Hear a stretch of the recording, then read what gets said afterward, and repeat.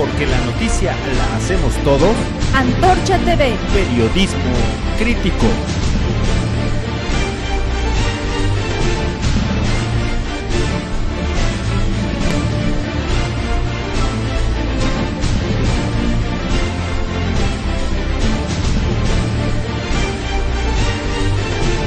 Antorcha TV. Periodismo crítico. Muy buenos días, es un gusto nos acompañe este viernes 16 de marzo en una emisión más de Antorcha TV con información más importante. Ante las acciones del pequeño grupo perredista que encabeza Horacio Duarte, los ciudadanos de Texcoco manifestaron su inconformidad. Esta es la información.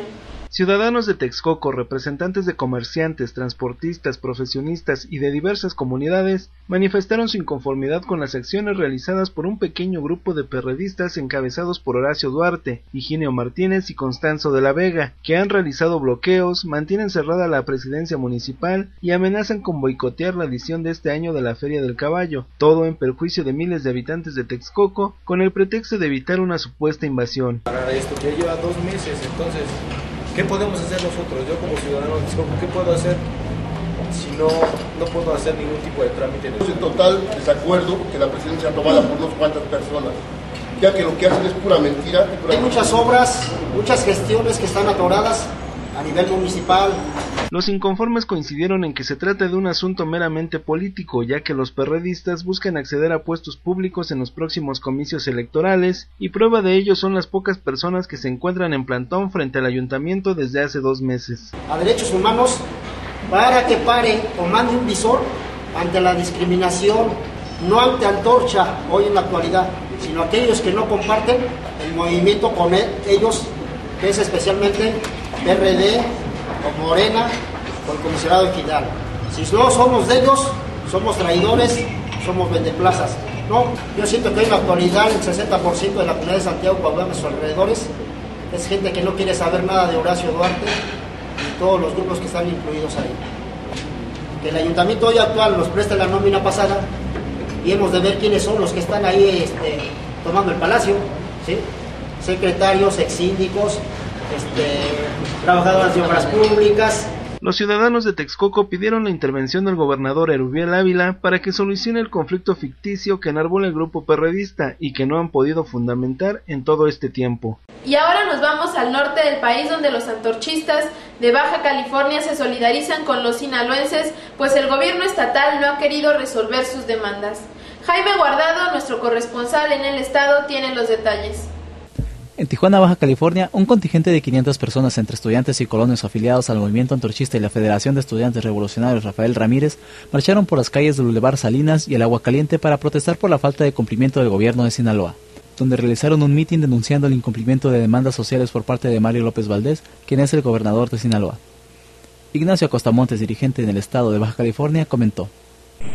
Hoy hemos hecho bien al venir a manifestarnos a esta pequeña representación de Sinaloa para que se sepa que en Culiacán no están solos, que en Culiacán están luchando y al pendiente de lo que pasa en Culiacán estamos los antorchistas del país, que hoy vienen aquí también a solidarizarse, a hermanarse. Entre las demandas de los sinaloenses se encuentran la donación de 400 lotes para familias de los Mochis, Guasave y Culiacán, aulas para diferentes escuelas y obras públicas en varias comunidades. Los antorchistas de Culiacán llevan ya más de un mes de plantón enfrente del Palacio de Gobierno, por lo que se sumaron a las manifestaciones sus compañeros de Los Mochis y Tijuana. Informó para Antorcha TV Jaime Guardado. Y ahora vamos a un rápido recorrido por la información más importante en la República. El país en corto. Comunidades pertenecientes al municipio de Coyotepec, Estado de México, denunciaron la actitud de burla por parte del edil Juan Carlos Casas Rodríguez, quien se niega a cumplir las demandas de servicios básicos para los habitantes comprometidas al inicio de su mandato. Gracias a las gestiones del antorchismo con el gobierno estatal de Puebla, los habitantes de las colonias en la capital recibieron 40 toneladas de cemento para guarniciones y banquetas. Habitantes de la colonia Fraternidad Antorchista lograron que el ayuntamiento poblano terminara de construir el comedor infantil en la primaria Miguel Hidalgo y Costilla. El próximo sábado 17 de marzo se inaugurará la avenida Lirios en la colonia Prado de Santa Lucía, pertenecientes al municipio de Zapopan. A este evento acudirá la diputada federal Marisela Serrano. El delegado de la Secretaría de Desarrollo Social en Morelos, Darío de la C. Cañas, realizó un recorrido por las colonias antorchistas en donde se comprometió a entregar pisos firmes, electrificación y demás apoyos sociales.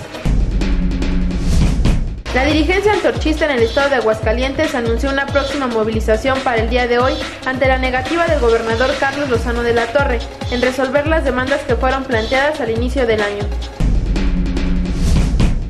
La dirigente de Antorcha en Hidalgo, Guadalupe Orona se reunió con el alcalde de Pachuca, Eleazar García Sánchez, para revisar las demandas planteadas en el pliego petitorio, por lo que el edil se comprometió a realizar un recorrido por la zona para priorizar el inicio de la solución a las peticiones.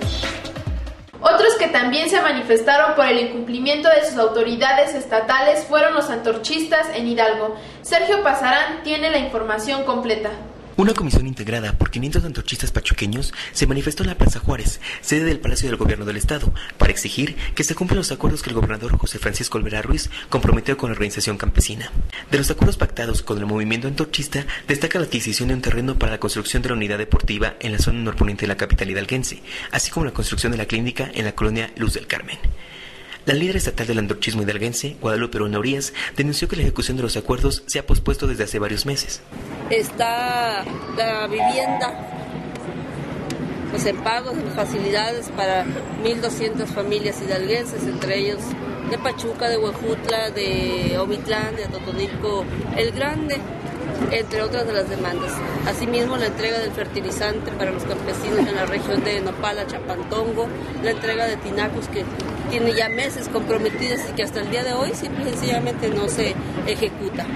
Y creo que por un lado hay mucho burocratismo de varios funcionarios encargados de hacer que los que las cosas caminen, que se ejecuten los acuerdos. Hay mucho burocratismo en, varias dependencias e insensibilidad para atender los pequeños problemas de las grandes mayorías. Que si se dejan de hacer estos acuerdos, de ejecutarse estas obras, estaremos perjudicando alrededor de 20 mil familias. Que se dejen de estar burlando de los acuerdos firmados, que se dejen de estar burlando de los compromisos con Antorcha, que dejen de estarse burlando de las necesidades de la gente. Indicó que en los próximos días se manifestarán los antorchistas de cada región para exigir el cumplimiento de obras, mientras convocó a los agremiados pachuqueños a una manifestación mayor para el próximo martes. Para Antorcha TV, Sergio Pasarán. Y como todos los viernes, aquí le presentamos el resumen de las notas más sobresalientes en la semana.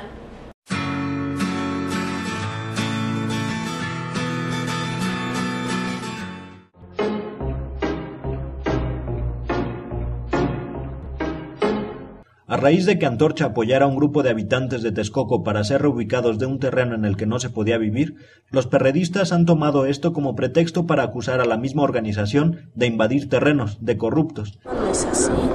El movimiento antorchista lucha por su gente y... No, a mí no me han cobrado nada. No somos invasores. A decir de Homero Aguirre Enríquez, vocero nacional del movimiento antorchista, se ha establecido una campaña mediática para desprestigiar a nivel nacional al movimiento antorchista. Tras esta campaña de desprestigio se encuentran el perredismo y el gobierno federal.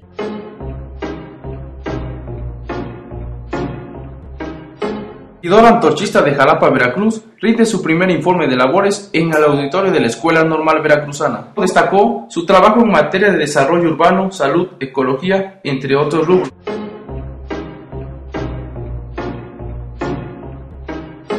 La diputada federal de Ixtapaluca, Marisela Serrano Hernández, departió con diversos representantes del gremio periodístico de la zona oriente, a quienes hizo un reconocimiento público por la difícil labor de informar que desempeñan. La legisladora aprovechó la ocasión para denunciar públicamente el hostigamiento que mantiene un pequeño grupo de perredistas de Cuautlalpan, dirigidos por el expresidente municipal de Texcoco, Horacio Duarte, en contra de las familias reubicadas al predio El Pimiango, y aclaró que se trata de una reubicación legal bajo responsabilidad del gobierno federal y estatal.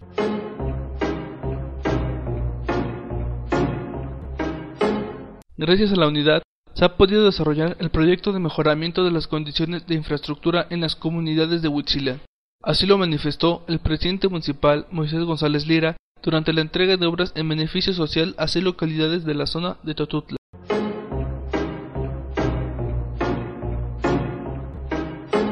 A pesar de las duras trabas que han puesto las dependencias federales y locales, en unos días, más de 100 familias van a celebrar la inauguración de la red eléctrica en Malacates, logro y triunfo del antorchismo capitalino. Esto fue todo por hoy.